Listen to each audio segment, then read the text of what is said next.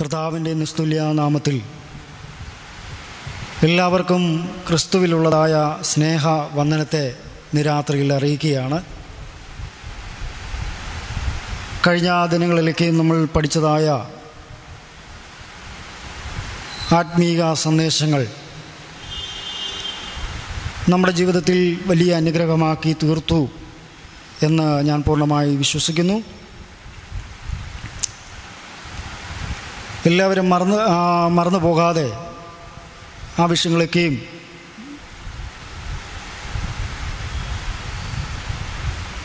എഴുതി സൂക്ഷിക്കുകയും ഇവിടെ പറയുന്നതായ വേദഭാഗങ്ങളൊക്കെയും വായിച്ച് എന്താ അതിന്റെതായ ആശയങ്ങളൊക്കെ നിങ്ങൾ മനസ്സിലാക്കിയെടുക്കണമേ എന്ന് ഇന്ന് രാത്രിയിൽ നിങ്ങളോട് അപേക്ഷിക്കുകയാണ്. നമ്മൾ പഠിച്ചതായ വിഷയത്തിലേക്ക് വേഗത്തിൽ കടന്നു വന്ന് ഇന്നത്തെ ഈ രാത്രിയിലെ ക്ലാസ് പ്രാർത്ഥിച്ച് അവസാനിപ്പിക്കുവാൻ ആഗ്രഹിക്കുകയാണ്. തെസ്ലോനിക്ക ലേഖനം ആണ് നമ്മൾ പഠിച്ചുകൊണ്ടിരിക്കുന്നത്. അഞ്ച് അധ്യായങ്ങൾ കൊണ്ട് എഴുതപ്പെട്ടതായ ഈ ലേഖനം ദൈവസഭയ്ക്ക് ദൈവസഭയിൽ ഉണ്ടായിരുന്നതായ അല്ലെങ്കിൽ ഉണ്ടായിരിക്കുന്നതായ ദൈവവിശ്വാസികൾക്കും അതുപോലെ തന്നെ ദേശത്തുള്ള എല്ലാ ക്രൈസ്തവ വിശ്വാസികൾക്കും ആത്മീക പ്രചോദനം നൽകുന്നതും അതോടൊപ്പം തന്നെ ആത്മീക ദർശനവും പത്യ ഉപദേശവും നൽകുന്നതായ ഒരു ലേഖനമായിട്ടാണ് ഈ തെസ്ലോനിക്ക് ലേഖനത്തെ പഠിക്കുവാൻ സാധിക്കുന്നത്. കഴിഞ്ഞ ക്ലാസ്സിൽ അഞ്ചാം അധ്യായമാണ് നമ്മൾ പഠിച്ചത്. അഞ്ചാം അധ്യായം കൊണ്ട് ഈ ലേഖനം ഒന്നാമത്തെ ഈ ലേഖനം തീരുകയാണ്.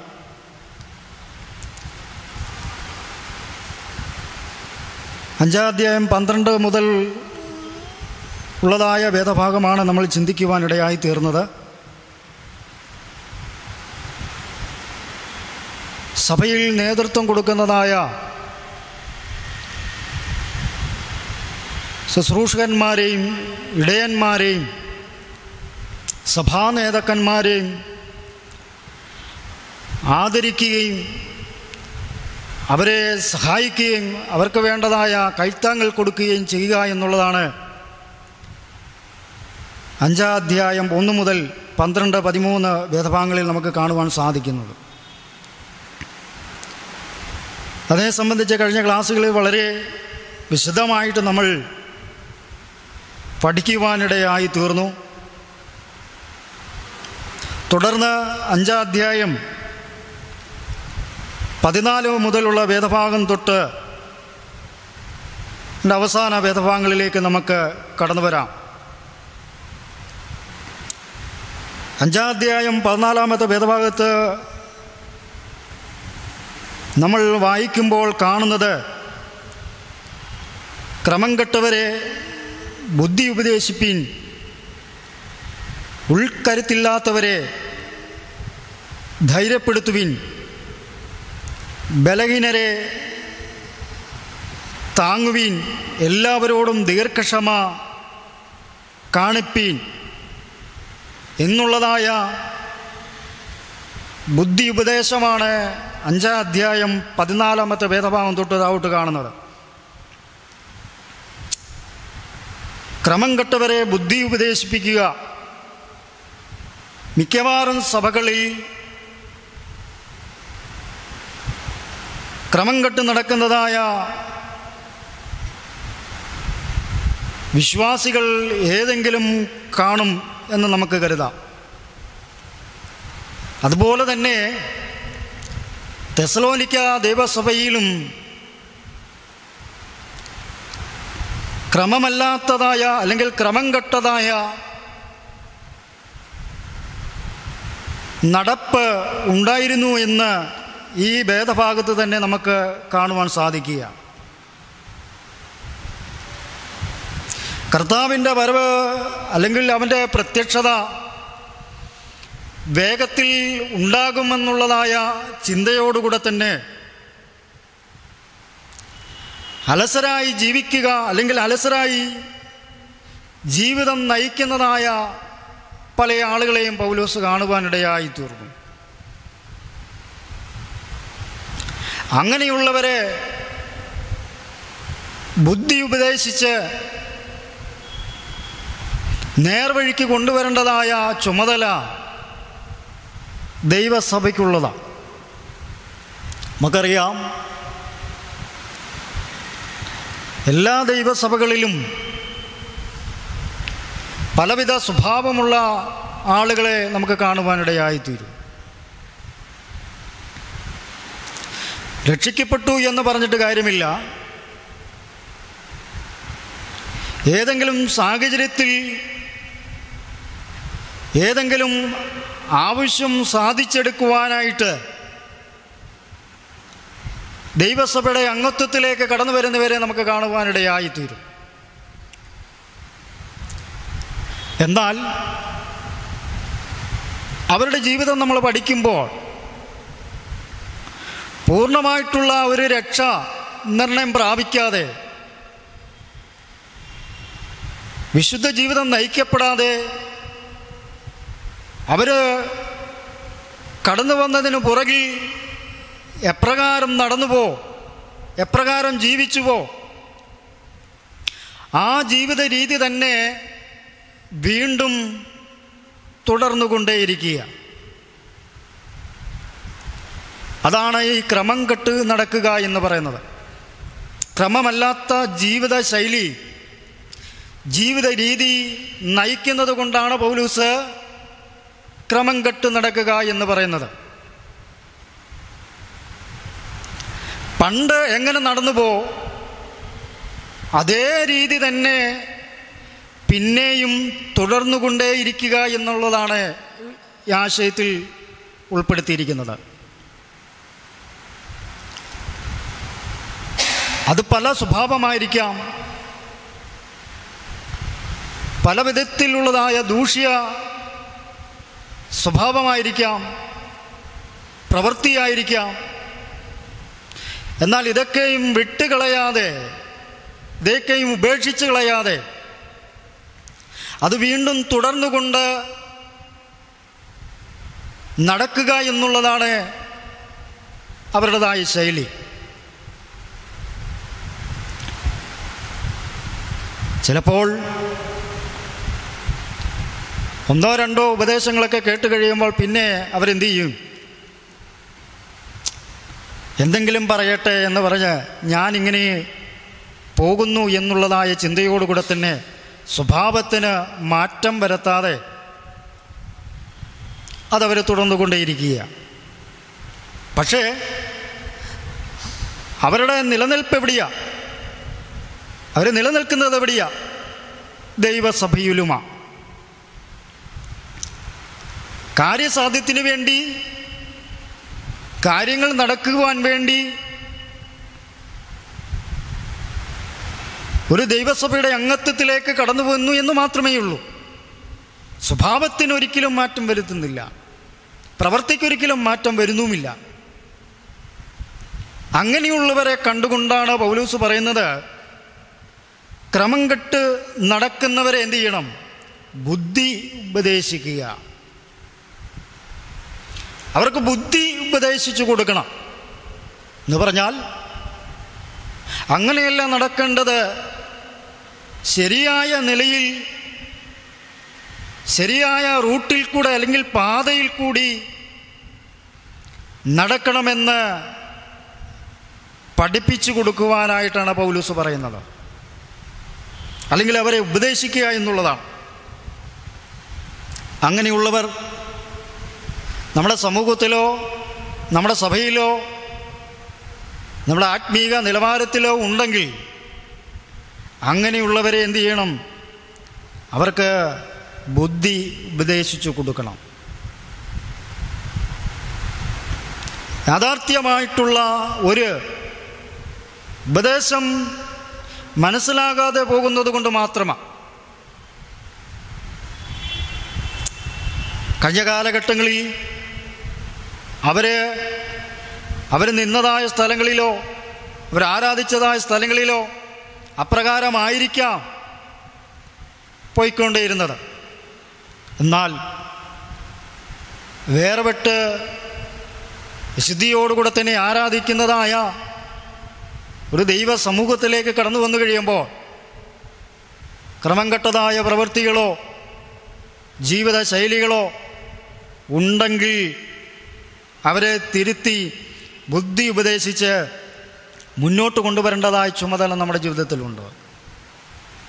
അടുത്തതായിട്ട് പൗലൂസ് പറയുന്നത് ബലഹീനരെ താങ്ങുക എന്നുള്ളതാണ് പല വിധത്തിലുള്ളതായ ആളുകൾ ദൈവസഭയിലുണ്ട്. ബലഹീനരുണ്ട് ബുദ്ധിയില്ലാത്തവരുണ്ട്. ഇങ്ങനെയുള്ളവരെയൊക്കെയും ബുദ്ധി ഉപദേശിക്കുകയും അവരെ താങ്ങുകയും ചെയ്യേണ്ടതായ കർത്തവ്യം നമുക്കുണ്ട് എന്നുള്ളതായ സത്യം മറന്നു പോകരുത്. പലൂസോടെ പറയുന്നത് ബലഹീനരെ താങ്ങുക. എന്ന് പറഞ്ഞാൽ ബലഹീന വിശ്വാസികൾ എല്ലാ സഭകളിലും ഉണ്ട്. ശാരീരികമായിട്ടായിരിക്കാം ആത്മീകമാകുന്ന ബലഹീനതകളായിരിക്കാം. പലരും ഇന്ന് വിശ്വാസത്തിൽ ബലഹീനരായിട്ടുള്ളവരാ. റോമാലേഖനം പതിനാലാമത്തെ അധ്യായം അതിന്റെ ഒന്നാമത്തെ വേദഭാഗത്ത് അപ്രകാരം പറഞ്ഞിട്ടുണ്ട്. ശരിയായ നിലയിൽ രക്ഷിക്കപ്പെട്ടവരെങ്കിലും പല കാരണങ്ങളിൽ ബലഹീനരാകാം. ചിലർ ദൈവത്തിൽ വിശ്വസിച്ചവർക്ക് ആ വിശ്വാസത്തിൽ നിലനിൽക്കുവാൻ സാധിക്കാതെ പോയിരിക്കാം. ചിലർക്ക് പീഡനമോ വിമർശനങ്ങളോ അഭിമുഖീകരിക്കുവാനുള്ളതായ ധൈര്യം അവരുടെ ജീവിതത്തിൽ ഇല്ലാതെ പോകുമ്പോൾ അങ്ങനെയുള്ളവരും ബലഹീന ജീവിതത്തിലേക്ക് മടങ്ങിപ്പോകുവാൻ സാധ്യതയുണ്ട്. സഭയുടെ ഉത്തരവാദിത്വം എന്ന് പറയുന്നത് ബലഹീനമായിട്ട് ആരെങ്കിലും ഇരിക്കുന്നുണ്ടെങ്കിൽ ആരെങ്കിലും കടന്നു വരുന്നുണ്ടെങ്കിൽ അങ്ങനെയുള്ളവരെ സപ്പോർട്ട് ചെയ്ത് അല്ലെങ്കിൽ താങ്ങി മുന്നോട്ട് കൊണ്ടുവരേണ്ടതായ ചുമതല ദൈവസഭയ്ക്കുണ്ട്. ചിലർക്ക് ധൈര്യമില്ലാത്തവരായിരിക്കാം. ചിലർക്ക് മറ്റുള്ളതായ എന്ത് ഏതെങ്കിലും തരത്തിലുള്ളതായ ബലഹീന ബലഹീനതയുള്ളവരായിരിക്കാം. മടിയുള്ളവരായിരിക്കാം. അങ്ങനെയുള്ളവരെ എന്ത് ചെയ്യണം? താങ്ങി സപ്പോർട്ട് ചെയ്ത് മുന്നോട്ട് കൊണ്ടുവരേണ്ടത് ആവശ്യമാണ്. എഴുന്നേറ്റ് നിന്ന് ആരാധിക്കുന്നവരെ മാത്രമല്ല നാം ചേർത്ത് പിടിക്കേണ്ടത്. ആരാധിക്കുവാൻ കഴിയാതെ നിൽക്കുന്നവരെയും മറ്റുള്ളതായ രീതിയിൽ ശാരീരികമാകുന്ന ബലഹീനതകളോ മാനസികമാകുന്ന ബലഹീനതകളോ ഏതെങ്കിലും തരത്തിൽ പ്രയാസത്തിൽ നിൽക്കുന്നതായ വ്യക്തികളാണെങ്കിലും അവരെയും ധൈര്യത്തോടെ താങ്ങി മുന്നോട്ട് കൊണ്ടുവരേണ്ടതായ ചുമതലയുണ്ട്. അതുകൊണ്ടാണ് പൗലോസ് പറയുന്നത് ബലഹീനരെ താങ്ങുക എന്നുള്ളത്. നിവർന്നു നിൽക്കുന്നവർക്ക് ഒരിക്കലും ബലം ആവശ്യമില്ല. എഴുന്നേറ്റ് നിൽക്കുന്നവർക്കൊരിക്കലും ബലം ബലം ആവശ്യമില്ല. ബലഹീനര ബലഹീനമായിട്ടുള്ളതിന് ബലം ആവശ്യമേ ഉള്ളൂ. അങ്ങനെയുള്ള വ്യക്തി ജീവിതങ്ങളെ താങ്ങി മുന്നോട്ട് കൊണ്ടുവരേണ്ടതായ ചുമതല ദൈവമക്കൾക്കുണ്ട് ദൈവസഭയ്ക്കുണ്ട്. ചിലർ വിശ്വാസ ജീവിതം നയിക്കുവാൻ കഴിയാത്തത് കൊണ്ട് ബലഹീനരായി തീർന്നിട്ടുണ്ട്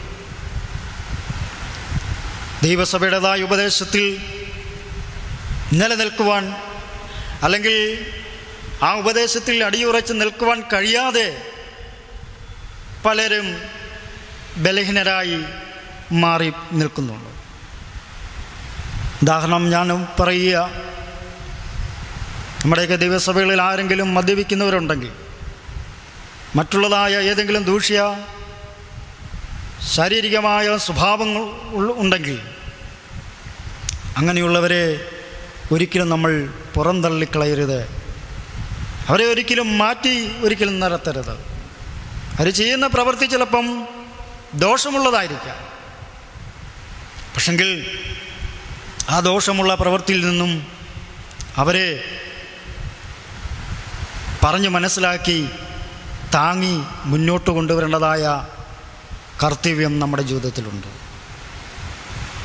അങ്ങനെ പല നിലകളിൽ ബലഹീനരായിട്ടുള്ളവർ ദൈവസഭയിലുണ്ട്. ഒന്ന് ആത്മീക ബലഹീനത. രണ്ട് വിശ്വാസത്തിൽ ബലഹീനത. മൂന്ന് ശാരീരികമാകുന്ന ബലഹീനത. നാല് വിശുദ്ധ ജീവിതം നയിക്കുവാൻ കഴിയാതെ പോകുന്ന ബലഹീനത. അങ്ങനെ നാലുവിധ ബലഹീനതകൾ കടന്നു വരുന്ന സമൂഹത്തിനുണ്ട് അത് വിശ്വാസികളായിരിക്കുന്നവരാണെങ്കിലും സഭയിൽ അംഗത്വമായിരിക്കുന്ന നമ്മളായിരിക്കും നമ്മളായിക്കൊള്ളട്ടെ. നമ്മളൊരു വ്യക്തി ഒരു മറ്റൊരു വ്യക്തിയെ കാണുമ്പോൾ അവർ ബലഹീനരാണെങ്കിൽ അവരെ എന്തു ചെയ്യണം? അവരെ താങ്ങി ബലപ്പെടുത്തി മുന്നോട്ട് കൊണ്ടുവരേണ്ടതായ കടമയുണ്ട് അല്ലെങ്കിൽ അത് സഭാ ശുശ്രൂഷയും ചെയ്യട്ടെ മറ്റുള്ളവർ ചെയ്യട്ടെ എന്ന് പറഞ്ഞിട്ട് കാര്യമില്ല. നമുക്കും നീ ഒരു വെറും ഒരു വിശ്വാസിയായ ആയിട്ട് ആരാധിക്കുന്ന വ്യക്തിയാണെങ്കിലും അവരെ താങ്ങി മുന്നോട്ട് കൊണ്ടുവരേണ്ടതായ ചുമതല നമുക്കുണ്ട്. അങ്ങനെ നാലുവിധ ബലഹീനരെ കുറിച്ചാണ് പൗലൂസ് ഈ ലേഖനത്തിൽ പറഞ്ഞത്. ഒന്ന് ആത്മീകമാകുന്ന ബലഹീനത രണ്ട് വിശ്വാസത്തിൽ ബലഹീനത മൂന്ന് ശാരീരികമാകുന്ന ബലഹീനത നാല് വിശുദ്ധ ജീവിതം നയിക്കുവാൻ കഴിയാത്തതായ ബലഹീനത. ആ ബലഹീനതയായിരിക്കാം ഇതിൽ ഏതെങ്കിലും നാല് നാല് തരത്തിൽ ഉള്ളതായ ഈ ബല ബലഹീനതകളിൽ ഏതെങ്കിലും ഒന്നായിരിക്കാം. ഒരു മനുഷ്യനെ ആരാധനയിൽ നിന്നും പുറന്തള്ളിക്കളയുന്നത് ആരെയും പുറന്തള്ളിക്കളയുവാൻ ദൈവവചനം അനു അനുശ്വാസിക്കുന്നില്ല. ദൈവവചനം പഠിപ്പിക്കുന്നില്ല. ബലഹീനരെ താങ്ങുവാനാണ് കർത്താവ് ഈ ലോകത്തിലേക്ക് കടന്നു വന്നത് നമ്മുടെ ചു നമ്മുടെ ചുമടിൽ നിന്നും ചുമട് നീക്കിക്കളയുവാനായിട്ടാണ് കർത്താവ് ഈ ലോകത്തിലേക്ക് കടന്നു വന്നത് അപ്പോൾ കർത്താവായ യേശു ക്രിസ്തു ചെയ്തതായ ആ ദൗത്യം പൗലോസ് പറയുന്നത് പോലെ തന്നെ നമുക്കും ഏറ്റെടുക്കുവാനുള്ളതായ കർത്തവ്യമുണ്ട്.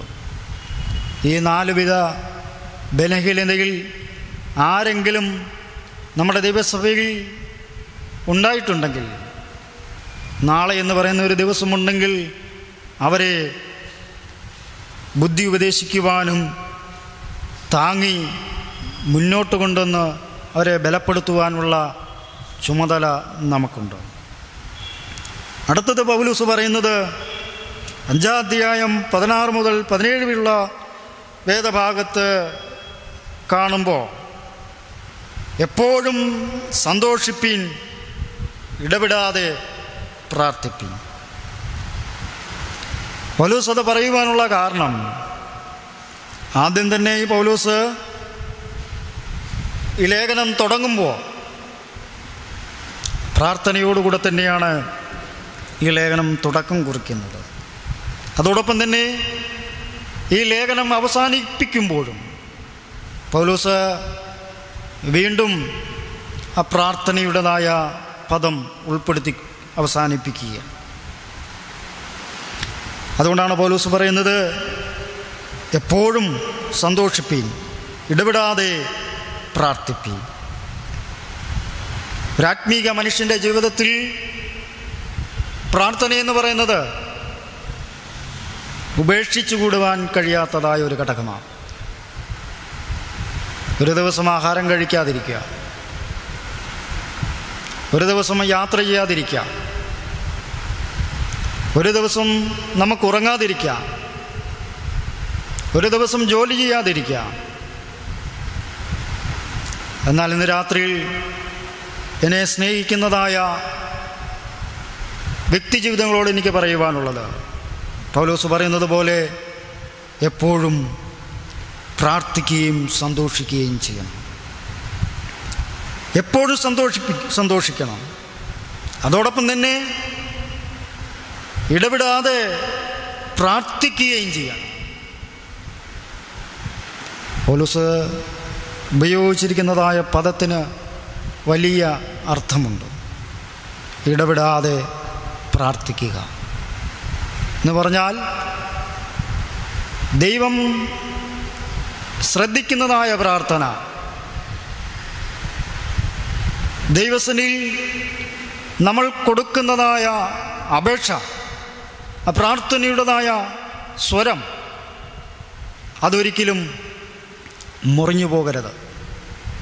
മനുഷ്യ ജീവിതത്തിൽ ചെയ്യുന്ന പ്രവൃത്തികൾക്കൊക്കെയും ഒരു പൂർണത ഉണ്ടാവുന്നില്ല. ഏതൊക്കെ പ്രവൃത്തി ചെയ്തോട്ടെ? ജോലിയിലായിരിക്കാം ബിസിനസ്സിലായിരിക്കാം കുടുംബജീവിതത്തിലായിരിക്കാം ഏത് സാഹചര്യത്തിലായിക്കൊള്ളട്ടെ? പക്ഷേ അതിലൊന്നൊരു പൂർണത ഉണ്ടാവുന്നില്ല. എന്നാൽ പൂർണത കൈവരിക്കുവാൻ കഴിയുന്നതായ ഒരു സ്ഥലമുണ്ട് അത് ദൈവസന്നിധി മാത്രമാണ്. നമ്മൊരു വിഷയത്തിന് വേണ്ടി പ്രാർത്ഥിച്ച ആ പ്രാർത്ഥന കഴിഞ്ഞ് നമ്മൾ എഴുന്നേൽക്കുമ്പോൾ തന്നെ ആ പ്രാർത്ഥനയുടേതായ വിടുതൽ നമ്മുടെ ജീവിതത്തിൽ അനുഭവിച്ചറിയുവാൻ നമുക്ക് സാധിക്കും. ദൈവം ശ്രദ്ധ വെച്ച് നമ്മുടെ പ്രാർത്ഥന കേട്ട് അതിനുള്ളതായ മറുപടി ദൈവം നൽകി തരുവാനിടയായിത്തീരും. അതുകൊണ്ടാണ് പൗലൂസ് പറയുന്നത് ഇടവിടാതെ പ്രാർത്ഥിക്കുക. വ്യത്യ വ്യത്യസ്തമാകുന്ന മൂന്ന് മനോഭാവങ്ങളെയാണ് പൗലൂസ് ഇവിടെ പ്രതിപാദിപ്പിക്കുന്നത്. എന്നാൽ ഓരോ മനോഭാവത്തിനും മൂന്ന് തലങ്ങളാണ് ഇവിടെ പറയുന്നത്. എന്നാൽ ആ മൂന്ന് മനോഭാവങ്ങളിൽ നിന്നും ഏറ്റവും മുഖ്യമാകുന്ന ഒരു ഘടകമെന്ന് പറയുന്നത് സന്തോഷമാണ് നമ്മൾ ഏതൊരു കാര്യവും സന്തോഷത്തോടെ ചെയ്താൽ അതിന് ഒരു ഫലമുണ്ടാകുവാനിടയായിത്തീരും.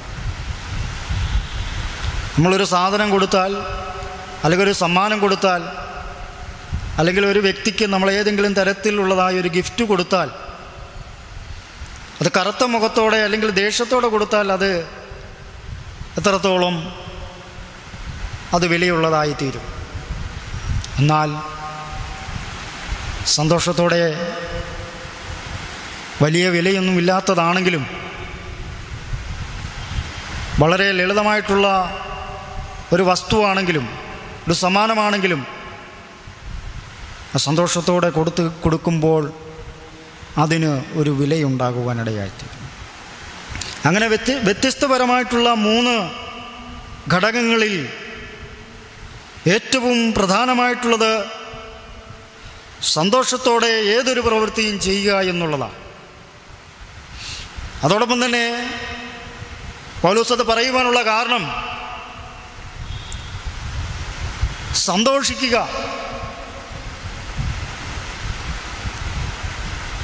അത് ആത്മീക ജീവിതത്തിലും ആത്മീക കാര്യങ്ങളിലും ആ സന്തോഷം ഉണ്ടായിരിക്കണം ഉദാഹരണം പറഞ്ഞാൽ സൺഡേ ആരാധനയ്ക്ക് പോകുമ്പോൾ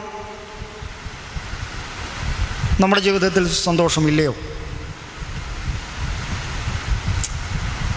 ആരാധിക്കുവാൻ ആഗ്രഹമുള്ള ഒരു വ്യക്തിയുടെ ജീവിതത്തിൽ അവൻ പൂർണ സന്തോഷത്തോടെ ആയിരിക്കാം ആരാധനയ്ക്ക് കടന്നു പോകുന്നത്. മറ്റു തലത്തിൽ ഭാരങ്ങളോ പ്രയാസങ്ങളോ ഉണ്ടെങ്കിലും അതൊന്നും അവൻ മൈൻഡ് ചെയ്യാതെ സന്തോഷത്തോടെ ദൈവസന്നിധിയിലേക്ക് അവൻ കടന്നു ചെല്ലുവാനിടയായിത്തീരും. എന്ന് പറഞ്ഞതുപോലെ പ്രാർത്ഥിക്കുവാനുള്ളതായ ഒരു സന്തോഷവും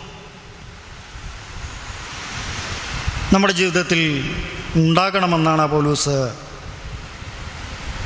പറയുന്നത്. ക്രിസ്തീയ ജീവിതത്തിൽ പ്രാർത്ഥന വളരെ അത്യാവശ്യമാകുന്ന ഒരു ഘടകമാണ്. ദൈവത്തോടുള്ള കൂടെയുള്ള ഒരു കൂട്ടായ്മയാണ് പ്രാർത്ഥന എന്ന് പറയുന്നത്.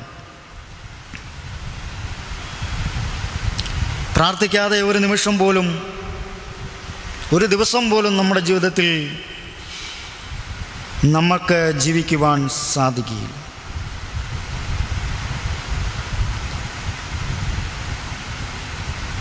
അതിന്റെ താഴോട്ടുള്ള വേദഭാഗങ്ങൾ വായിക്കുമ്പോൾ എപ്പോഴും സന്തോഷിപ്പീൻ ഇടപെടാതെ പ്രാർത്ഥിപ്പീൻ എല്ലാറ്റിനും സ്തോത്രം ചെയ്യുവീൻ ഇതല്ലോ നിങ്ങളെക്കുറിച്ച് ക്രിസ്തുവേശുവിൽ ദൈവ ഇഷ്ടം അടുത്തത് പൗലൂസ് പറയുന്നു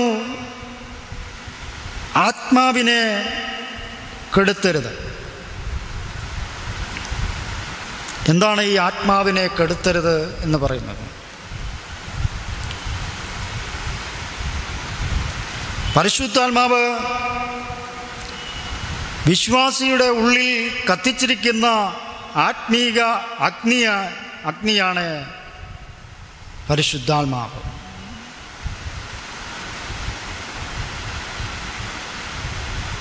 ബാഹ്യമാകുന്ന വസ്തുക്കൾ കൊണ്ട് ഒരു തീ കെടുത്തുന്നത് പോലെ.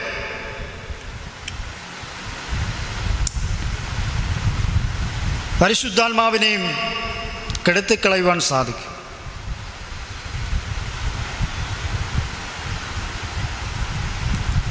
ആത്മാവിന്റെതായ പ്രവൃത്തി ദൈവസഭകളിൽ ആരാധനയിൽ ആരാധനകളിൽ ഉണ്ടായിരിക്കണമെന്നാണ് പൗലൂസ് പറയുന്നത്. ആത്മാവിന്റെതായൊരു പരിവർത്തനം ദൈവസഭകളിൽ ഉണ്ടാകണം. അതിനെ ഒരിക്കലും എന്ത് ചെയ്യരുത്? കെടുത്തിക്കളയരുത്. ചിലപ്പോൾ മണിക്കൂർ നേരം ഇരുന്ന് എഴുന്നേറ്റ് നിന്ന് ചിലപ്പോൾ ആരാധിക്കുവാനുള്ള സാഹചര്യമായിരിക്കാം.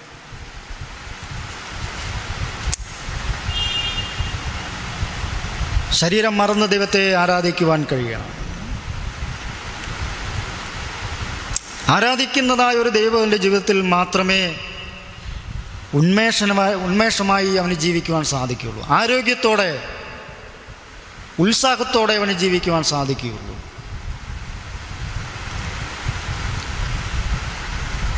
ഇന്നത്തെ കാലഘട്ടത്തിൽ നമ്മൾ നോക്കുമ്പോൾ നമ്മുടെ ഈ കൊച്ചു കേരളത്തിൽ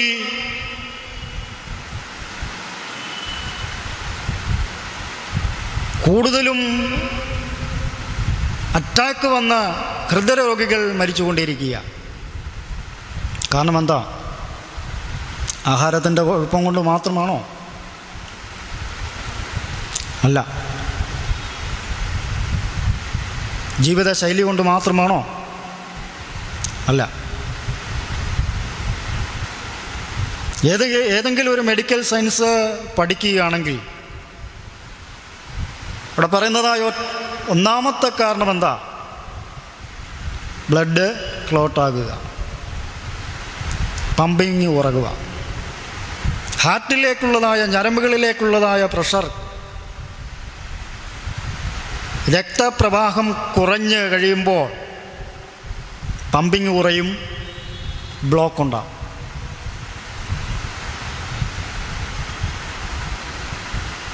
ശാരീരികമായി നല്ല കായിക ജോലി ചെയ്യുന്ന വ്യക്തിയാണെങ്കിലും ആർക്കും വരാമെന്ന അസുഖ അസുഖമാണ്.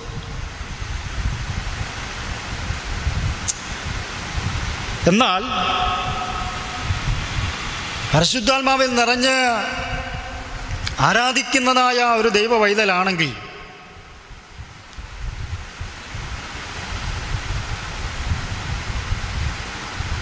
നമ്മുടെ ആത്മീക പശ്ചാത്തലം വെച്ച് നോക്കുമ്പോൾ മറ്റുള്ള ദൈവസഭകളെ അപേക്ഷിച്ച് ശക്തിയായി കരങ്ങളടിച്ച് ശരീരം മറന്ന് ദൈവത്തെ ആരാധിക്കുന്നതായൊരു അനുഭവം അങ്ങനെ ആരാധിച്ചു കഴിയുമ്പോൾ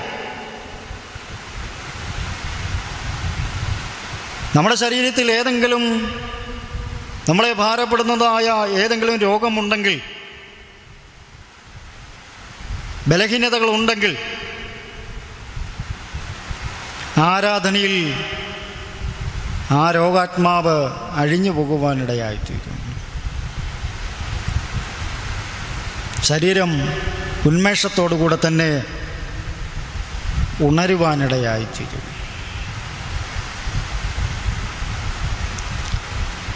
പല ആരാധന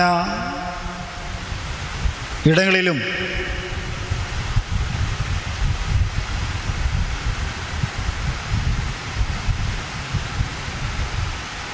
ഒരു സൈഡിൽ പോയി എവിടെയെങ്കിലും പോയി കുത്തിയിരുന്ന് കഴിഞ്ഞാൽ പിന്നെ ആരാധന കഴിയുമ്പോഴാണ് അനങ്ങുന്നത്.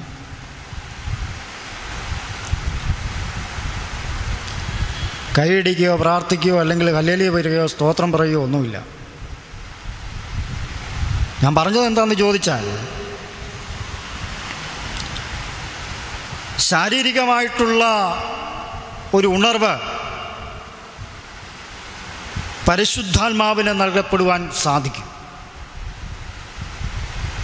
ഉണർവ് മാത്രമല്ല ശാരീരികമായിട്ടുള്ള ഒരു വിടുതൽ ആ ദൈവശക്തി ഒളിഞ്ഞു കിടപ്പുണ്ട് അതോടൊപ്പം തന്നെ ഏതെങ്കിലും തരത്തിലുള്ളതായ ബന്ധനങ്ങളുണ്ടെങ്കിൽ ദുഷ്ടാത്മാവിന്റെതായ ഏതെങ്കിലും പ്രവൃത്തികൾ നമ്മുടെ ശാരീരികമാകുന്ന മണ്ഡലങ്ങളിലുണ്ടെങ്കിൽ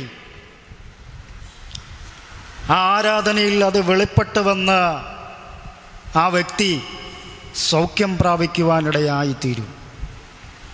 പഴയ നിയമ കാലഘട്ടങ്ങളിൽ പൗലൂസിന്റെ ശുശ്രൂഷകളിലൊക്കെയും പത്രോസിന്റെ ശുശ്രൂഷകളിലൊക്കെയും അങ്ങനെയുള്ളതായ വിടുതലുകൾ നടന്നതായ ചരിത്രമുണ്ട്. അതുകൊണ്ട് എന്നെ കേൾക്കുന്നതായ സഹോദരങ്ങളെ എനിക്കൊരു കാര്യം പറയുവാനുള്ളത്. നിങ്ങൾ ആത്മാവിൽ ബലപ്പെട്ട് ദൈവത്തെ ആരാധിക്കണം. നമ്മൾ ഊമയായിരിക്കുന്നതായ ഒരു ദൈവത്തെയല്ല ആരാധിക്കുന്നത്. കൈയും കാലും അനങ്ങുവാൻ കഴിയാത്തതായ സംസാരിക്കുവാൻ കഴിയാത്തതായ ഒരു ദൈവത്തെയല്ല നമ്മൾ ആരാധിക്കുന്നത്. മരിച്ച് മൂന്നാം ദിനം ഉയർത്തെഴുന്നേറ്റ് ദൈവത്തോടുകൂടെ തന്നെ അധിവസിക്കുന്നതായ ജീവനുള്ള ദൈവത്തെയാണ് നമ്മൾ ആരാധിക്കുന്നത്. അപ്പം നമ്മുടെ ആരാധന ചത്ത ആരാധനയാകരുത്. നമ്മുടെ ആരാധന ജീവനുള്ള ആരാധനയായിരിക്കണം. അതുകൊണ്ടാണ് പൗലൂസ് പറയുന്നത് ആത്മാവിനെ എന്ത് ചെയ്തരുത് കെടുത്തരുത്. കാറ്റിനെ ആർക്കെങ്കിലും പിടിച്ചു കെട്ടുവാൻ സാധിക്കുമോ? തീയുടെ ബലത്തെ നമുക്ക് കെടുത്തിക്കളയുവാൻ സാധിക്കും കാറ്റിനെ ഏതെങ്കിലും കുടത്തിലോ കുപ്പിയിലോ ഏതെങ്കിലും വസ്തുവിലോ നമുക്ക് മറച്ചു നിർത്തുവാനോ തടഞ്ഞു നിർത്തുവാനോ കഴിയത്തില്ല. എന്ന് പറഞ്ഞതുപോലെ പരിശുദ്ധാത്മാവിനെയും ആത്മാവിന്റെ പ്രവൃത്തിയെയും ഒരിക്കലും നമുക്ക് കെടുത്തിക്കളയുവാൻ സാധിക്കുകയില്ല. അതിനെ തടഞ്ഞു നിർത്തിയാൽ അതിനെ കെടുത്തിക്കളഞ്ഞാൽ അതിന്റെതായ ദൂഷ്യഫലം നമ്മുടെ ജീവിതത്തിൽ അനുഭവിക്കുവാനിടയായിത്തീരും. അതുകൊണ്ട് എന്നെ കേൾക്കുന്ന വ്യക്തികളോട് എനിക്ക് പറയുവാനുള്ളത്. ആത്മീകമായി ഭൗതികമായി നമ്മുടെ കുടുംബജീവിതത്തിൽ ഒരു വിടുതൽ പ്രാപിച്ചെടുക്കണമെങ്കിൽ ഇന്ന് രാത്രിയിൽ ദൈവവചനം പഠിക്കുന്നതായ മിത്രങ്ങളോട് എനിക്ക് പറയുവാനുള്ളത്. ആത്മാവിന്റെ നിറവിലുള്ളതായ ഒരു ആരാധന നമ്മുടെ ജീവിതത്തിൽ ഉണ്ടാകണം. അതുകൊണ്ട് പൗലോസ് പറയുന്നു ഒരിക്കലും ആത്മാവിനെ കെടുത്തിക്കളയരുത്. ദൈവാത്മാവ് പറയുകയാണെങ്കിൽ നീ ആരാധ അന്യഭാഷകളെ നീ ആരാധിക്കുവാൻ ദൈവാത്മാവ് നിന്നെ പ്രേരിപ്പിക്കുകയാണെങ്കിൽ എഴുന്നേറ്റ് നിന്ന് നൃത്തം ചെയ്ത് ദൈവത്തെ ആരാധിക്കുവാൻ ദൈവാത്മാവ് നിന്നോട് കൽപ്പിക്കുകയാണെങ്കിൽ ഇരിക്കുന്നതാ ഇടം മറന്ന് ദൈവത്തെ നീ ആരാധിച്ചിരിക്കണം. മറ്റുള്ളവരെ ഒരിക്കലും നീ നോക്കരുത്. മറ്റുള്ള വസ്തുക്കളെ ഒരിക്കലും നീ കേന്ദ്രീകരിക്കരുത്. ഇന്ന് രാത്രിയിൽ ആത്മാവിന്റെ ബലത്തോടെ ആരാധിക്കുന്നുവോ നിന്റെ സകല ബന്ധനങ്ങളെയും ദൈവം അഴിക്കുവാൻ ശക്തനാണ്. നിന്റെ സകല രോഗത്തെയും ദൈവം സൗഖ്യമാക്കുവാൻ ദൈവം ശക്തനാ. വിടുതൽ എന്ന് പറയുന്നത് ദൈവകരങ്ങളിലല്ല. വിടുതൽ ആരുടെ കൈകളിലാണ് നമ്മുടെ കൈകളിൽ തന്നെയാണ്. ആ വിടുതൽ പ്രാപിക്കണമെങ്കിൽ എന്ത് ചെയ്യണം? നമ്മുടെ ശരീരത്തെ ആത്മാവിന് വിട്ടുകൊടുക്കണം. ആത്മാവ് പറയും ശരീരം പറയും നീ ആരാധിക്കണ്ട. ആത്മാവ് പറയും നീ ഇപ്പം ആരാധിച്ചേ പറ്റത്തുള്ളൂ. ഇപ്പം ശരീരം പറയും ഓ അവരെന്നാ വിചാരിക്കും? അടുത്തിരിക്കുന്ന ആ ജോർജ് കുഞ്ചാൻ എന്നാ വിചാരിക്കും? അല്ലെ മറിയാമ്മ ചേച്ചി എന്നാ വിചാരിക്കും? ഓ നാണക്കേടല്ലേ? അതൊന്നും വിചാരിക്കണ്ട. ആത്മാവ് പറയുന്നത് പോലെ ശരീരം ഒന്ന് വഴങ്ങിക്കൊടുത്തി. ആത്മാവ് വഴി നടത്തുന്നത് പോലെ പ്രചോദിപ്പിക്കുന്നത് പോലെ ആമേ നിന്റെ ശരീരത്തെ ഒന്ന് വഴക്കിക്കൊടുക്ക്. വലിയൊരു ദൈവപ്രവൃത്തി നിന്റെ ശരീരത്തിൽ വെളിപ്പെടുവാനിടയായിത്തീരും. അതുകൊണ്ട് പൗലൂസ് പറയുന്നു ആത്മാവിനെ കെടുത്തരുത്. അടുത്തത് പറയുന്നു അഞ്ചാം അധ്യായം ഇരുപത് ഇരുപതാമത്തെ വാക്യത്തിൽ പറയുന്നു പ്രവചനം എന്ത് ചെയ്യരുത്? തുച്ഛീകരിക്കരുത്. അപ്പോസ്തോലിക കാലഘട്ടങ്ങളിൽ പ്രവചനപരം ഉണ്ടായിരുന്ന പലരെയും പരിശുദ്ധാത്മാവ് സഭകളിൽ എഴുന്നേൽപ്പിച്ചിട്ടുണ്ട്. അക്കാലങ്ങളിൽ തന്നെ സഭകളിൽ അനേക കള്ളപ്രവാചകന്മാരും ഉണ്ടായിരുന്ന ഒരു കാലഘട്ടം. എന്നാൽ അപ്പോസ്തോലിക കാലഘട്ടത്തിൽ പ്രവചനവരത്തിന് വലിയ പ്രാധാന്യത ഉണ്ടായിരുന്നു എന്നുള്ളത് സത്യമായ കാര്യമാണ്. നമ്മുടെ ദൈവസഭകളിൽ എല്ലാവരും പ്രവചിക്കണം. പ്രവചനപരം ഉണ്ടായിരിക്കണം. ആത്മാവിന്റെതായ ആരാധനയുണ്ടായിരിക്കണം. സഭയുടെ വളർച്ച എന്ന് പറയുന്നത് തന്നെ ഇതൊക്കെ തന്നെയാണ് പ്രവചിക്കുകയും പരിശുദ്ധാത്മാവിന്റെ നിറവോടുകൂടെ തന്നെ അന്യഭാഷകളിൽ ആരാധിക്കുകയും ചെയ്താൽ അത് ദൈവസഭ തന്നെയാണ് വളർച്ചയില്ലാത്ത ദൈവസഭ നോക്കുകയാണെങ്കിൽ അവിടെ ആത്മീകമാകുന്ന ആരാധന കാണത്തില്ല. പ്രവചന ശുശ്രൂഷകൾ കാണത്തില്ല. എന്നാൽ ആദിമ കാലഘട്ടങ്ങളിൽ സഭകളിൽ അനേകരെ എഴുന്നേൽപ്പിച്ചു. പല സ്ത്രീകളെ എഴുന്നേൽപ്പിച്ചു.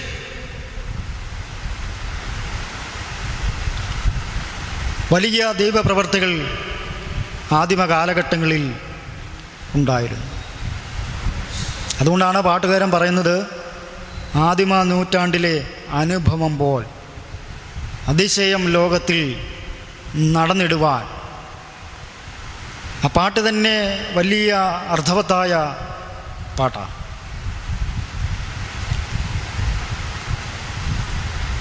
അപ്പോൾ ആത്മീകമാകുന്ന ആരാധനയും ആത്മാവിന്റെതായ ബലത്തിലുള്ള ആരാധനയും പ്രവചനപരവും മറ്റുള്ളതായ ശുശ്രൂഷകളൊക്കെയും ദൈവസഭകളിൽ ഉണ്ടായിരിക്കണം. ആരാധനയ്ക്ക് മുഖ്യ സ്ഥാനം തന്നെ കൊടുക്കണം. പരിശുദ്ധാത്മാവിന്റെ അഭിഷേകം ദൈവസഭകളിൽ ഉണ്ടായിരിക്കണം. ഇതൊക്കെയാണ് ദൈവസഭയുടെ വളർച്ച എന്ന് പറയുന്നത്. ദൈവസഭയുടെ വളർച്ച മാത്രമല്ല വ്യക്തിപരമായിട്ടുള്ള വളർച്ചയും ഉണ്ടാകണമെങ്കിൽ ആത്മീകമായി ജീവിതത്തിൽ മുന്നോട്ട് മുന്നേറണമെങ്കിൽ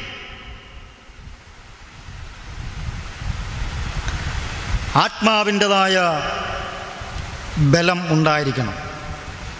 പരിവർത്തനമുണ്ടായിരിക്കണം അപ്പോൾ പോലൂസോടെ പറയുന്നത് പ്രവചനപരം തുച്ഛീകരിക്ക തുച്ഛീകരിക്കരുത്. ആദിമസഭയിൽ കർത്താവിന്റെ വക്താവായിരുന്ന പലരും പ്രവചനവുമായി എഴുന്നേറ്റതായിട്ട് നമുക്ക് കാണുവാനിടയായിത്തീരും. മറുഭാഗത്ത് കള്ളപ്രവാചകന്മാരും എഴുന്നേൽക്കുന്നതായിട്ട് നമുക്ക് കാണുവാനിടയായിത്തീരും. അപ്പോൾ പൗലൂസ് പറയുന്നു വചനം കേൾക്കണം. വചനത്തിൽ നിന്നുമായിരിക്കണം ആത്മാവിന്റെ നിറവ് ഉണ്ടായിരിക്കേണ്ടത്. പല സ്ഥലങ്ങളിലും ആരാധനകളിലേക്ക് നമ്മൾ കാണുന്നതായൊരു കാഴ്ചയാണ്. ചില സ്ഥലങ്ങളിലൊക്കെ കയറി ചെന്ന് കഴിഞ്ഞാൽ അവിടെ പാസ്റ്റർ ഒരു വാക്യം കൊണ്ട് വായിച്ചാൽ പിന്നെ പാസ്റ്ററെ കൊണ്ട് പ്രസംഗിക്കത്തില്ല കാരണം എന്താ? ആത്മാവിന്റെ ചൂട് അങ്ങോട്ട് കയറി കഴിഞ്ഞാൽ പിന്നെ പാസ്റ്ററെ പോലും മൈൻഡ് ചെയ്യത്തില്ല. പിന്നെ പ്രസംഗമൊന്നും കേൾക്കത്തില്ല. ദൈവചനം വായിച്ചത് ഏത് വാക്യമാണെന്ന് പോലും ശ്രദ്ധിക്കത്തില്ല. ബൈബിൾ പോലും അങ്ങോട്ട് തുറന്ന് നോക്കത്തില്ല. തീപ്പൊരി ആരാധന. എന്നാൽ ദൈവവചനം അപ്രകാരം പറയുന്നില്ല. ദൈവവചനം ഇപ്രകാരമാണ് പറയുന്നത്. വചനം കേട്ടവരുടെ ഹൃദയത്തിൽ എന്താ ഉണ്ടായത്? ആത്മാവ് വന്നു എന്നുള്ളതാണ്. വചനം ഏത് ശക്തിയിൽ എഴുതിയോ ആ ശക്തി ആയിരിക്കണം ആ വചനത്തിൽ നിന്നും നമ്മുടെ ശരീരത്തിലേക്ക് പ്രവേശിക്കപ്പെടേണ്ടത്. വചനത്തിൽ പറയുന്നതായ ആത്മീക അർത്ഥങ്ങൾ മനസ്സിലാക്കി അതിന്റെ പൊരുൾ തിരിച്ച് മനസ്സിലാക്കി കഴിയുമ്പോൾ അറിയാതെ തന്നെ നമ്മൾ എന്തു ചെയ്യും?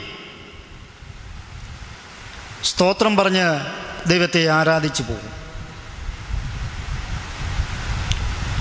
അങ്ങനെയുള്ള ആരാധനയായിരിക്കണം നമ്മുടെ ജീവിതത്തിൽ ഉണ്ടാകേണ്ടത്. അതോടൊപ്പം തന്നെ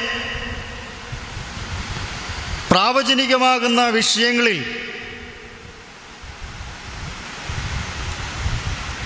നമ്മൾ ആത്മാർത്ഥത കാണിക്കുന്നവരായി തീരണം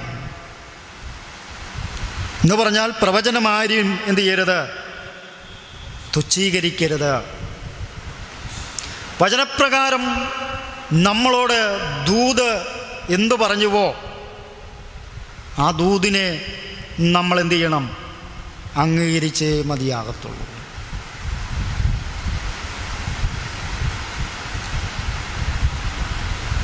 ആ അംഗീകാരം നമ്മുടെ ജീവിതത്തിൽ ഇന്നല്ലെങ്കിൽ നാളെ അത് ഫലവത്താകുമെന്നുള്ളത് സത്യമായ കാര്യമാണ്. അതുകൊണ്ടാണ് പോലൂസ് പറയുന്നത് ആത്മാവിനെ കെടുത്തരുത് പ്രവചനം തുച്ഛീകരിക്കരുത് സകലതും ശോധന ചെയ്ത് നല്ലത് മുറുകെ പിടിപ്പി അപ്പം എന്ത് കേട്ടാലും വിശ്വസിക്കുക എന്നുള്ളത് മാത്രമല്ല എന്ത് കേട്ടാലും അംഗീകരിക്കുക മാത്രമല്ല സകലതും ശോധന ചെയ്യണം എന്ന് പറഞ്ഞാൽ കേൾക്കുന്ന വചനവും ആത്മീക ദൂതുകളും പ്രവചനവും എല്ലാം നമ്മൾ എന്ത് ചെയ്യണം? വചനപ്രകാരം നമ്മൾ ശോധന ചെയ്യണം. എന്നിട്ട് പൗലൂസ് പറയുന്നു നല്ലത് മാത്രം എന്ത് ചെയ്യണം? മുറുകെ പിടിക്കണം. മുറുകെ പിടിച്ചാൽ അത് നമ്മുടെ ജീവിതത്തിൽ അനുഗ്രഹത്തിന് കാരണമായി തീരും പിന്നീട് പറയുന്നു സകലവിധ ദോഷവും വിട്ടകലനം. ഏതെങ്കിലും തരത്തിലുള്ളതായ ദോഷം ആത്മീകമാകുന്ന മണ്ഡലങ്ങളിൽ ഉണ്ടെങ്കിൽ ആ ദോഷങ്ങളിൽ നിന്നും നമ്മൾ എന്തു ചെയ്യണം? വിട്ടകന്ന് മാറണം.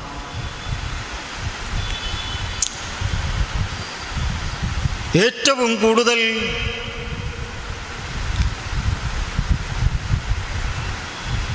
പ്രയാസമുണ്ടാകുന്ന ഒരു മേഖലയാണ് ആത്മീക മേഖല. ആത്മീക ജീവിതത്തിൽ നിന്നും ഒരു മനുഷ്യൻ വിശ്വാസത്യാഗം സംഭവിച്ചാൽ പിന്നെ ആ വ്യക്തിയെ ഒരിക്കലും എന്ത് ചെയ്യാൻ പറ്റത്തില്ല.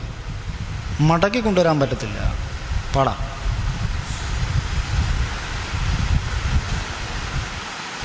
പലയിടങ്ങളിലും തെറ്റിദ്ധാരണകൾ തെറ്റിദ്ധാരണ മുഖാന്തരവും നേതൃത്വപരമായിട്ടുള്ള ഏതെങ്കിലും തരത്തിൽ അഭിപ്രായ വ്യത്യാസങ്ങളോ സഹവിശ്വാസികളുടെ സഹകരണത്തിലോ ഏതെങ്കിലും തരത്തിലുള്ള ദോഷങ്ങളിൽ അകപ്പെട്ടു പോയതിന് ശേഷം വിശ്വാസം ത്യജിച്ച് കടന്നു പോകുന്നവരെ നമുക്ക് കാണുവാനിടയായിത്തീരും.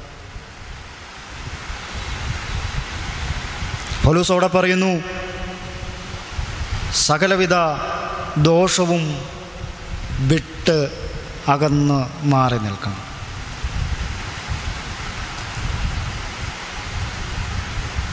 ഏത് സമയത്തും ദോഷം കടന്നു വരാം.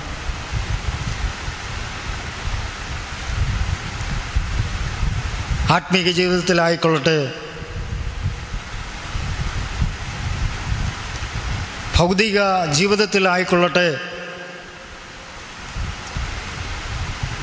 മാനുഷികമാകുന്ന ഏതെങ്കിലും തരത്തിലുള്ളതായ പ്രവർത്തികൾ നമ്മുടെ ജീവിതത്തെ തകർക്കുവാൻ പതിയിരിക്കുമ്പോൾ അല്ലെങ്കിൽ അടുത്തു വരുമ്പോൾ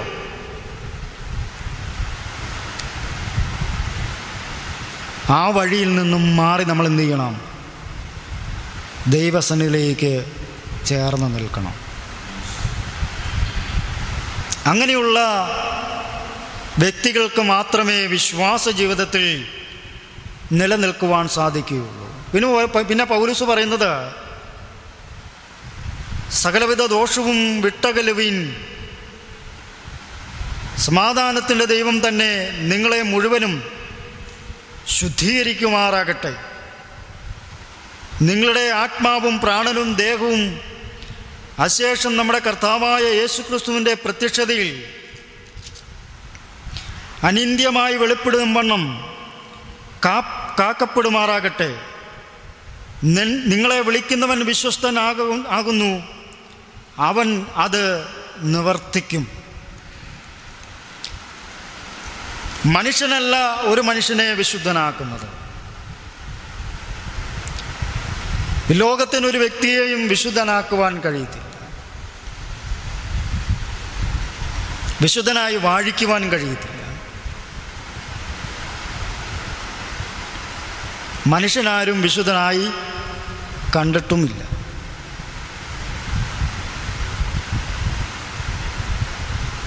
എന്നാൽ ദൈവത്തിന് മാത്രമേ ഒരു മനുഷ്യനെ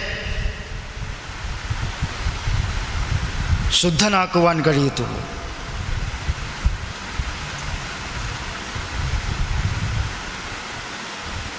നമ്മുടെ ആത്മാവും പ്രാണനും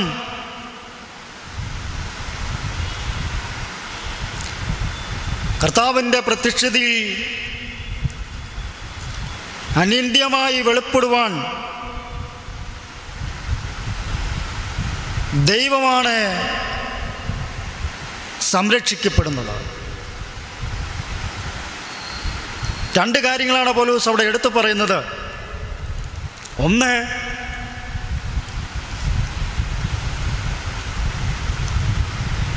ആത്മാവ് പ്രാണൻ ദേഹം. മൂന്ന് കാര്യങ്ങളാണ്.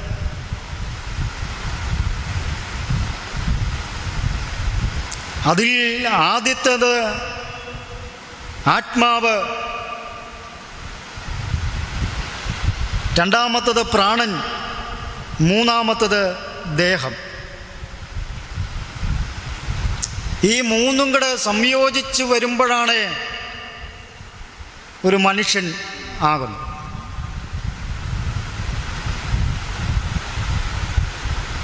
ഈ മൂന്നിൽ ഒരെണ്ണം മിസ്സായിപ്പോയി കഴിഞ്ഞാൽ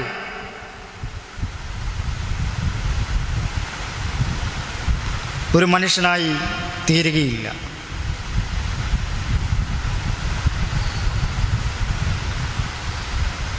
എന്നാൽ പൗലൂസോടെ പറയുന്നത് യേശുക്രിസ്തുവിന്റെ പ്രത്യക്ഷതയിൽ അനിന്ദ്യമായ വെളുപ്പിടം. വിൺമമ വിൺമകമാകുന്ന ഒരു സ്ഥൈ- ശരീരം. മർത്യതയില്ലാത്തതായ ഒരു ശരീരം. മരണമില്ലാത്തതായ ഒരു ശരീരം. രോഗമില്ലാത്തതായ ഒരു ശരീരം. കഷ്ടതയില്ലാത്തതായ ഒരു ശരീരം. വീണ്ടും ഉയർക്കപ്പെടുമെന്ന് പൗലോസയുടെ വിശ്വസിക്കപ്പെടുക മറ്റുള്ളവരെ അത് പറഞ്ഞു മനസ്സിലാക്കുക എന്നാൽ ഈ ജഡത്തിലായിരിക്കുമ്പോൾ ഈ ശരീരത്തെ സംരക്ഷിക്കുവാനുള്ളതായ ഉത്തരവാദിത്വം നമുക്കുണ്ട്. നമ്മുടെ ഹൃദയത്തിൽ നമ്മുടെ ജീവനിൽ നമ്മുടെ രക്തത്തിൽ അടങ്ങിയിരിക്കുന്നതായ ഒരു പ്രാണനുണ്ട്. ഒരു ജീവശ്വാസമുണ്ട്. അത് ഈ ശരീരത്തിന് സ്വന്തമല്ല. മരണം സംഭവിക്കുമ്പോൾ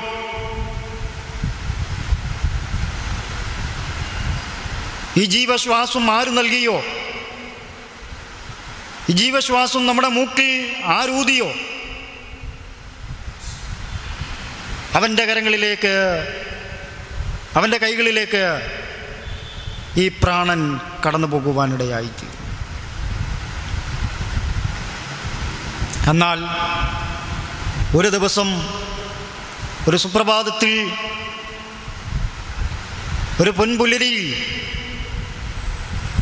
ഈ പ്രാണൻ വീണ്ടും മടങ്ങി വരുമെന്ന് സത്യമായിട്ട് തന്നെ ജനങ്ങളെ പറഞ്ഞ് മനസ്സിലാക്കുക.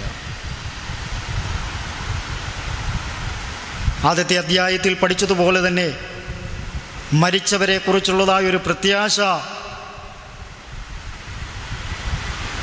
തെസലോനിക്ക ദൈവസഭയിൽ ഇല്ലായിരുന്നു. മരിച്ചവരൊക്കെയും വീണ്ടും ഉയർക്കുമോ? അവർ മടങ്ങി വരുമോ എന്നുള്ളതായ ചിന്ത ദൈവസഭകളിൽ ഉണ്ടായിരുന്നു. എന്നാൽ പൗലൂസ് ലേഖനം അവസാനിപ്പിക്കുന്നതിന് മുമ്പും അതേ വാക്ക് തന്നെ ഉപയോഗിച്ച് അവരെ ശക്തിപ്പെടുത്തുന്നതായ ഒരു കാര്യമാണ് നമ്മൾ അവിടെ കാണപ്പെടുന്നത്. പിന്നെ പോലൂസ് പറയുന്നു നിങ്ങളെ വിളിക്കുന്നവൻ വിശ്വസ്തൻ. അവൻ അത് നിവർത്തിക്കും. എന്നാൽ ക്രിസ്തുവിന്റെ മടങ്ങി വരവ് വരെ ഇപ്പോൾ മരിക്കുന്നതായ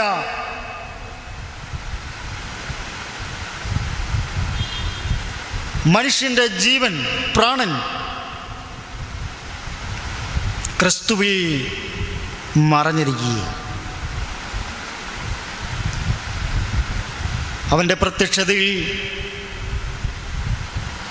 കാഹളനാദത്തിന്റെ ശബ്ദം കേൾക്കുമ്പോൾ ക്രിസ്തുവിൽ മരിച്ചവരേക്കെയും മുൻപേ ഉയർക്കുവാനിടയായി ചെയ്തു.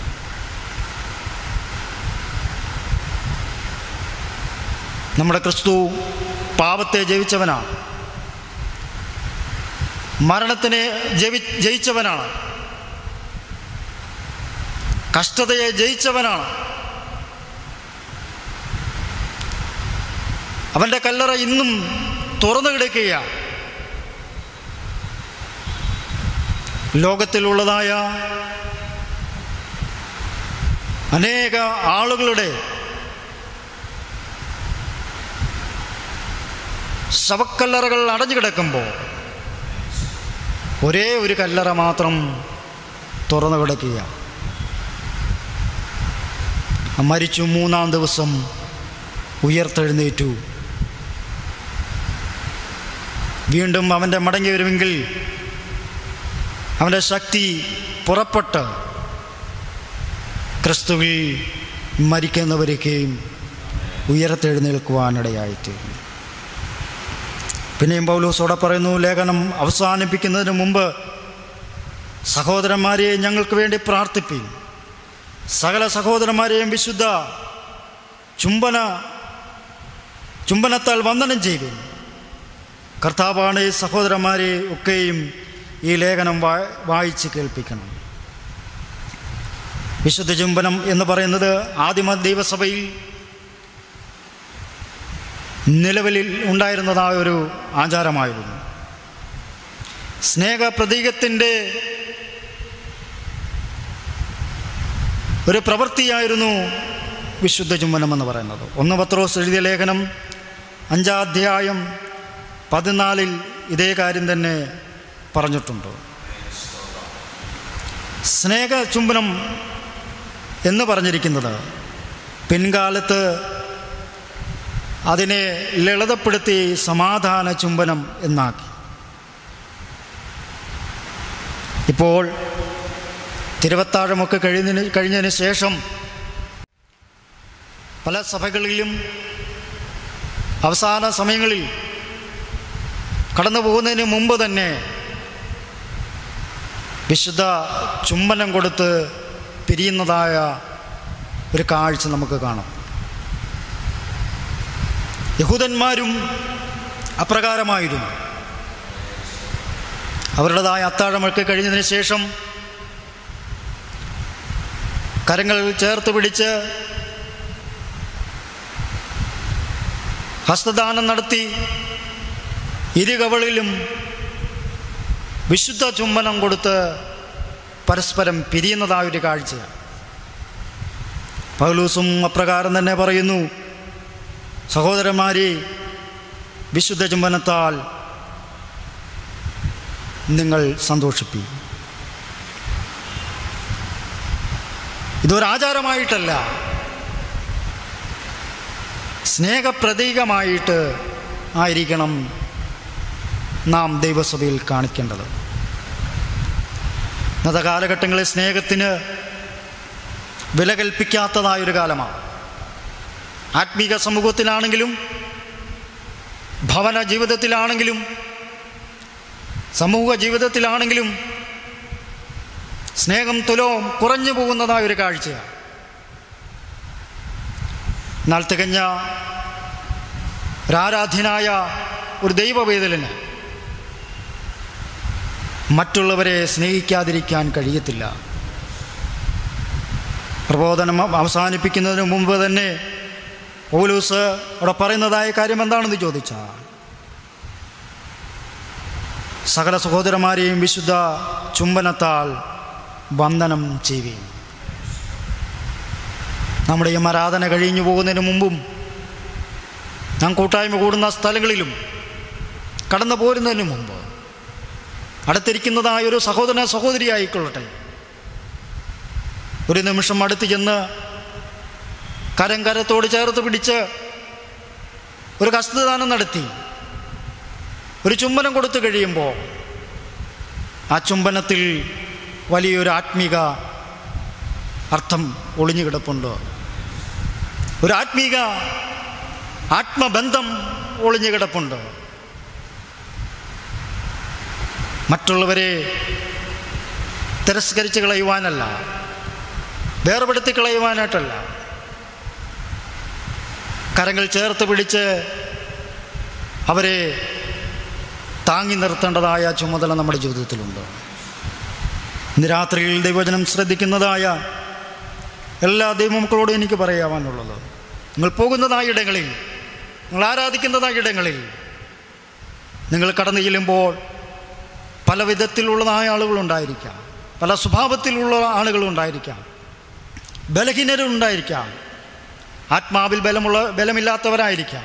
വിശ്വാസ ജീവിതത്തിൽ ബലഹീനത ഉള്ളവരായിരിക്കാം ശാരീരികമാകുന്ന ബുദ്ധിമുട്ടുള്ളവളെ ആയിരിക്കാം. ആരുമായിക്കൊള്ളട്ടെ? ഏതൊരു അവസ്ഥയിലുമായിക്കൊള്ളട്ടെ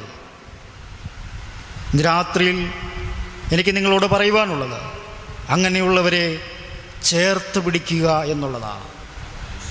അവസാനം പൗലുസ് പറയുന്നത് പോലെ സകല സഹോദരന്മാരെ വിശുദ്ധ ചുംബനത്താൽ വന്ദനം ചെയ്തു കർത്താവാണ് ഈ സഹോദരന്മാരെ ഒക്കെയും ലേഖനം വായിച്ച് കേൾപ്പിക്കണം.